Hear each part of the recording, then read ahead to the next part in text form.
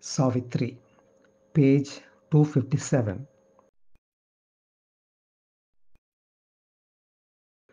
In this small mold of infant mind and sense, desire is a child heart's cry, crying for bliss.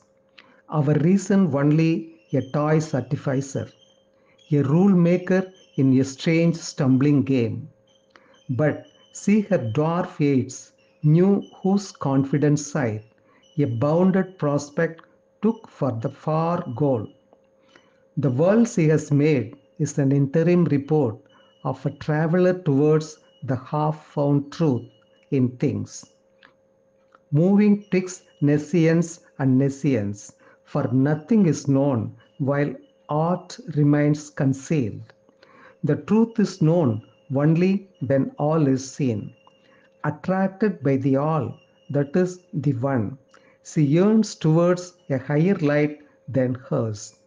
Hid by her cults and creeds, she has glimpsed God's face. She knows she has but found a form, a robe, but ever she hopes to see him in her heart and feel the body of his reality. Yes, yet a mask is there and not a brow. Although sometimes two hidden eyes appear, reason cannot tear off that glimmering mask. Her efforts only make it glimmer more. In pockets, she ties up the indivisible, finding her hands too small to hold vast truth. She breaks up knowledge into alien parts or peers through cloud rack for a vanished sun.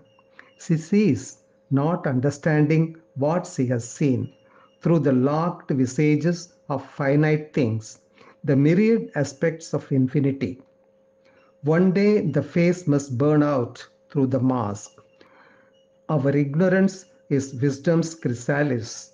Our error waits new knowledge on its way.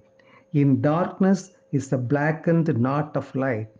Thought dances hand in hand with nescience on the grey road that winds towards the sun.